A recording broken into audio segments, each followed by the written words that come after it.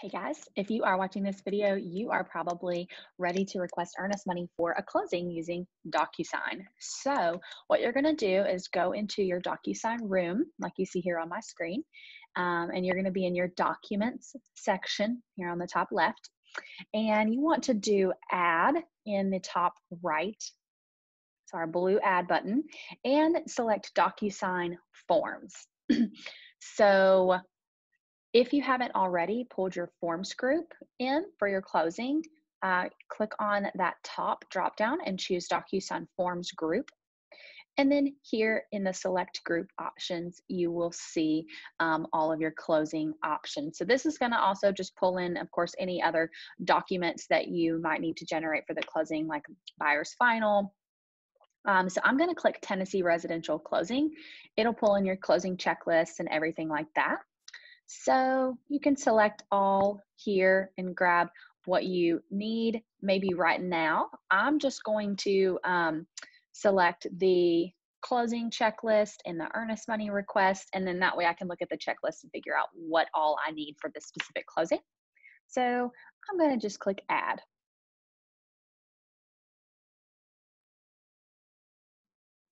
So here, on my first line here in the middle, I've got my earnest money request for the closing. So you want to open that up.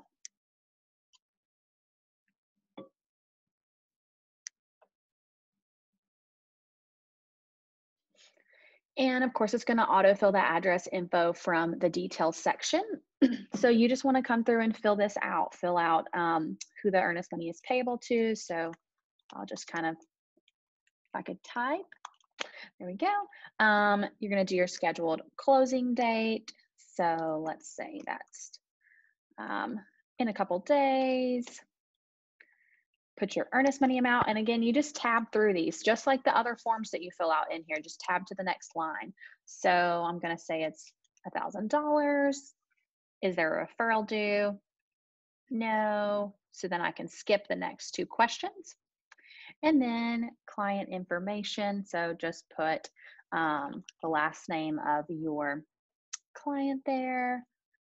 And then choose who you represent here. And then you want to save and close in the top right. So filling that out is very similar to how you've always filled it out in Dotloop. Um, as far as sending it to Julie so that you can request it, all you need to do is hover over that form and check the box in the top left corner. Then uh, you're going to get some action icons right above that. So click on the one with the pen that says DocuSign. It's your shortcut to creating an envelope with a form from the room. And of course, this is going to be another envelope. So just make sure you just say um, something kind of specific so you know what it is. So earnest money, and I'll put the address. The document's already here. So I just need to choose my recipient. So you're gonna do add recipient and you can actually choose room participants here. And Julie should show up um, as Market Center Administrator role here. So she should show up in everyone's. So you can actually just check the box there and add selected. And then just make sure you change where it says needs to sign to receives a copy. Do not use just needs to view. Receives a copy is going to attach the PDF in her email. So that way she's able to just click on that PDF and see all the info she needs.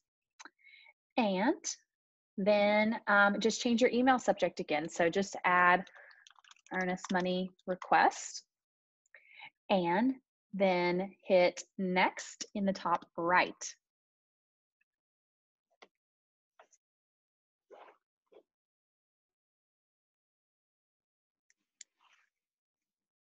And it's going to come up with your form here, but there's nothing else we need to do on this one. We're not, we've already filled everything out in the room. So all you need to do here is click send and then she will cut your earnest money check for you and put it in your box for your closing.